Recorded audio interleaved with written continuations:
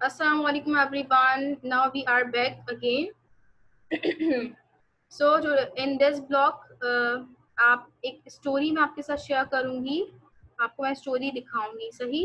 Understand everyone तो enjoy this story और इसमें एक लेसन है आप लोगों के लिए। वो किस बारे में? वो भी झूठ के बारे में कि we never have to lie हमें झूठ कभी भी नहीं कहना कहना है चाहे कुछ भी हो जाए। सही?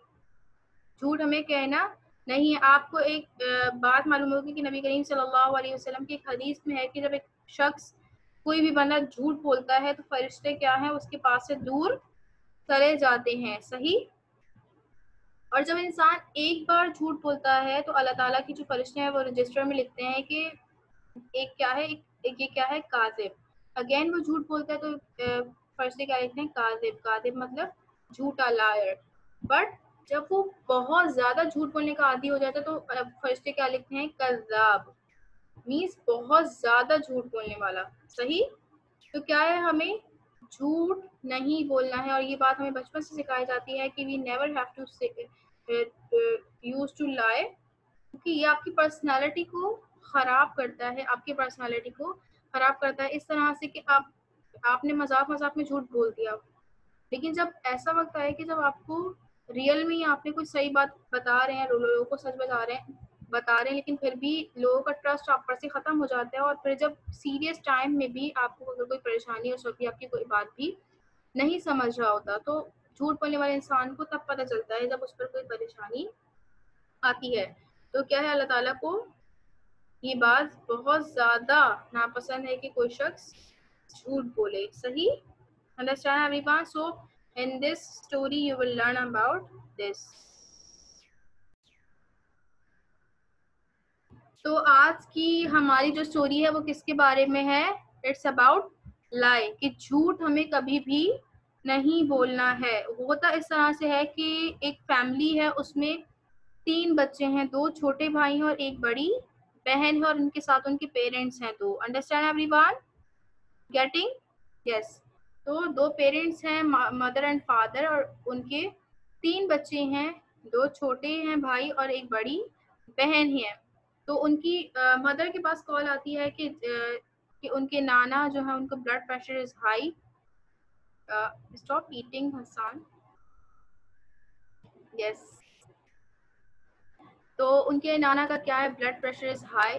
तो here there now the parents have to go to the किनके घर जाना है? अब नाना को घर जाना है पेरेंट्स को ज़ाहिर सी बात है because his blood pressure is high और उनकी तबीयत ठीक नहीं है so they are going to visit him अब उन्होंने ही they left their children at home और उन्होंने ड्यूटी लगा दी सबसे बड़ी बहन की you have to take after your siblings अपने जो भाई हैं, बहन भाई हैं अपने उनकी टेक केयर करनी है?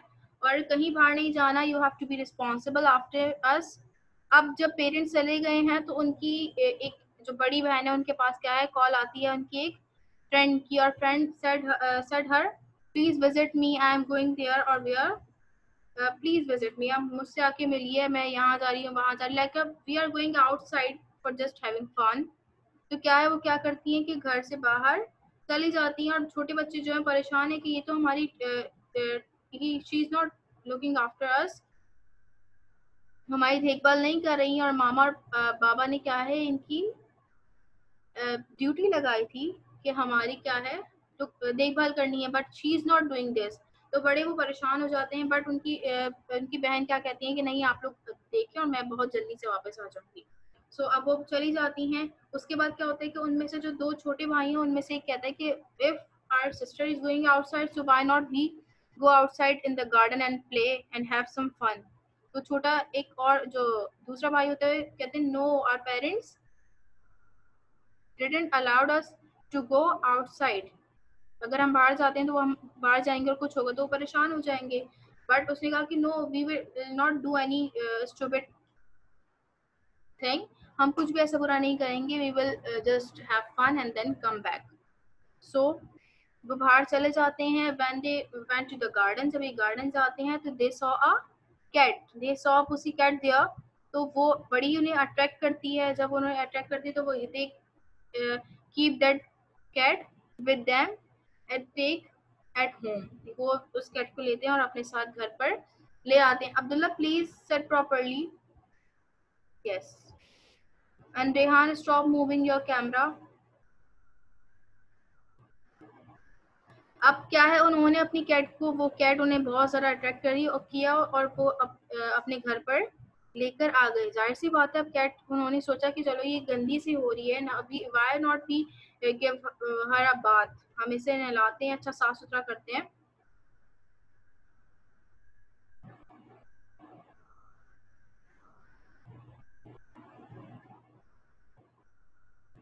सही हम क्या करते हैं उन्हें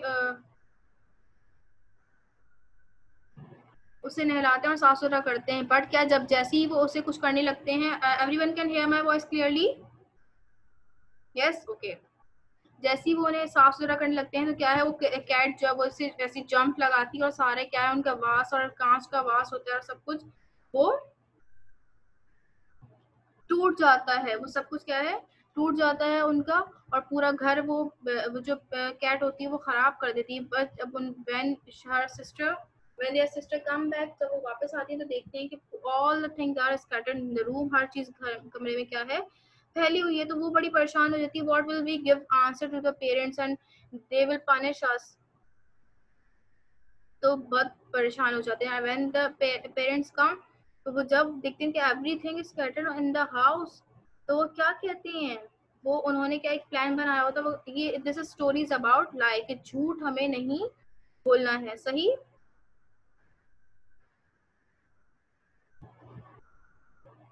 सही हमें झूठ नहीं बोला बट ये प्लान क्या करते हैं? हम पेरेंट्स से क्या कहेंगे? This what not our fault हमारा कोई फॉल्ट नहीं था बल्कि बाहर से एक uh, चोर आया था thief came here and do all the things whatever you are seeing now तो एक चोर आया था जिसने सब कुछ किया और हम मतलब सारा कुछ फैला दिया और पूरा घर उल्टा पुल्टा कर दिया। तो उनके पेरेंट्स ने कहा कि it's it's a thing we should have worried about it तो हमें फ़िक्र करनी चाहिए और we have to call police ना और हमें हमें पुलिस को बुलाना चाहिए ताकि वो देख सके कि कौन हमारे घर आया था और किसने हमारे साथ ये किया है।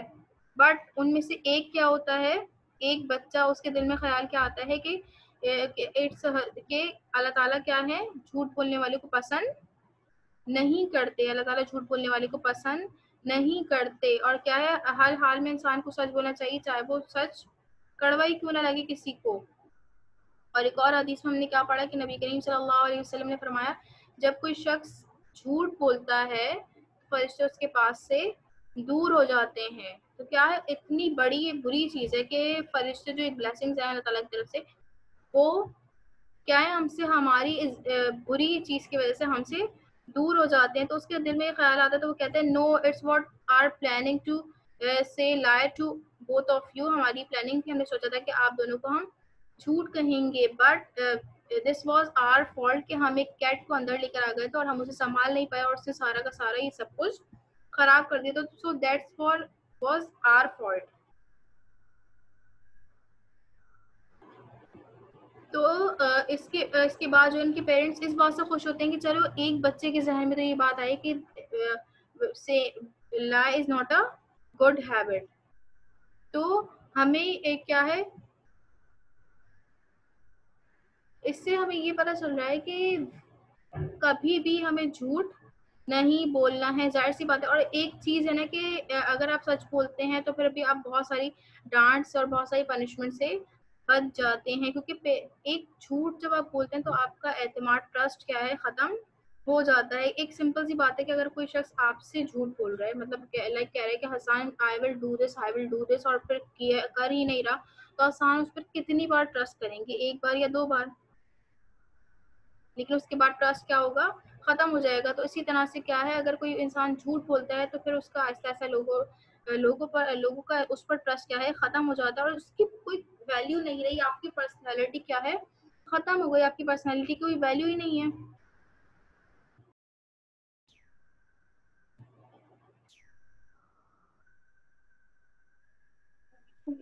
तो तो हमें इससे लेसन क्या मिल रहा है कि हमें झूठ किसी भी सूरत में नहीं बोलना कभी झूठ नहीं बोलना चाहिए। वेरी गुड यस कभी झूठ नहीं बोलना चाहिए। झूठ कभी भी नहीं बोलना चाहिए। हम अगर ये सोच रहे हैं कि हमें पनिशमेंट मिल जाएगी ये हो जाएगा वो हो जाएगा कुछ नहीं होता। देर लेकिन अगर हम झूठ कभी नहीं बोलना चाहिए। और अगर हम झूठ बोलते रहेंगे बोलते रहेंगे और उसके हैबिचुअल हो जाएँगे तो क्या अल्लाह ताला के पास अल्लाह ताला के रजिस्टर में लिखा जा रहा है कि ये बच्चा झूठा है ये बच्चा झूठा तो सोचे अल्लाह ताला की नहीं अल्लाह ताला की आइज़ में कितने ज़्यादा बुरे बन रहे हैं। तो हम छोटी सी पनिशमेंट के लिए बचने के लिए हम क्या करते हैं? झूठ बोल देते हैं। और ये पूरा का पूरा ये जो आपका एक्ट है आपकी पर्सनालिटी को क्या है? डिस्ट्रॉय कर देते हैं।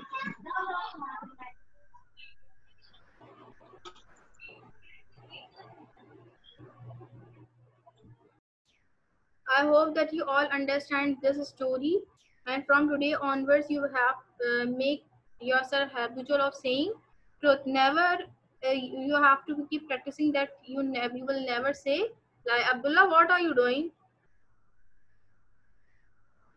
तो आज से आपको प्रैक्टिस करनी है कि never never never try to say lie आपको अगर डर होता है कि आपको पनिश मिलेगी या जो भी मिलेगा सो तो आप उस जिससे भी आपकी बात है, उसको क्लियर करें। But never try to say I hope that you all understand this now I am ending our class thank you so much everyone